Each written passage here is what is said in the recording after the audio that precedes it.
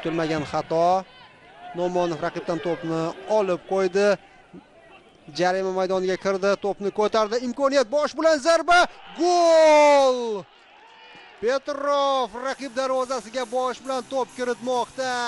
Mash'al hisobda oldinga chiqib no'monovdan assist tashlab qo'ydi bosh bilan. Burchakka to'qqizlikka bu darvozabonning ham xatosi. Chunki mana qarang reaksiya ko'rsata olmadi va albatta markaziy va qanot himoyachilari raqibni o'tkazib yubordi nihoyat gol ko'rdik. Yaxshi hujum. Aytgandek o'sha petrov maydonga tushganda ikkinchi